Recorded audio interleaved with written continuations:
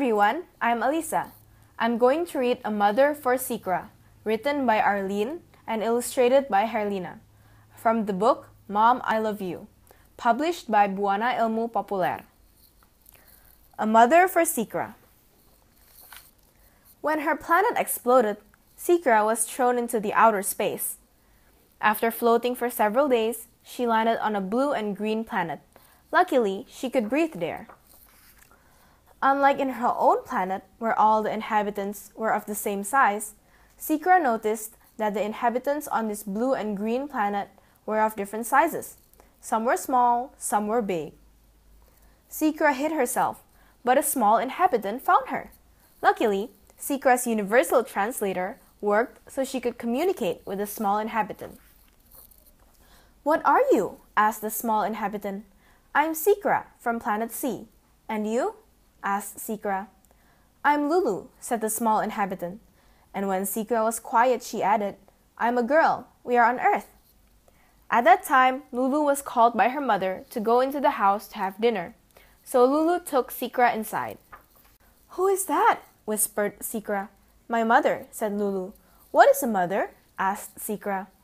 A mother is someone who has loved you since you were born, answered Lulu. But I was not born. I came from a star rock that was heated by a star, said Xichra. A mother is someone who makes sure that you are not hungry, said Lulu. When I'm hungry, I just eat the small microorganisms in the air, said Xichra.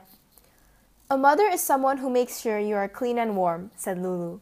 I don't need to bathe. I have self cleaning capability and also temperature adjustment capability. So maybe I don't need a mother, said Xichra.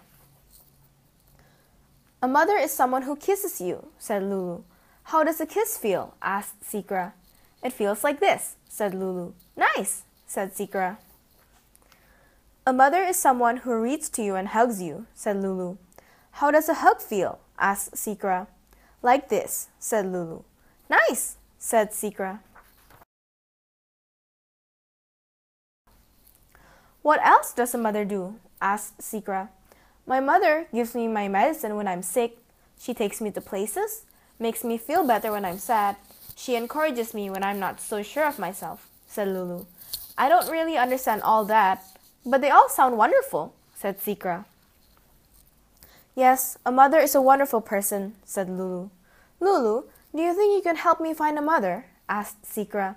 Well, it's hard to find someone who looks like you, but I can be your mother if you want, said Lulu. Really? asked Xichra. Really, said Lulu. Okay, you don't have to look like me to be my mother, as long as you know how to be one, said Xichra. I know. I learned from the best, said Lulu. And so even though Xichra was very far from home, she felt quite all right. The end.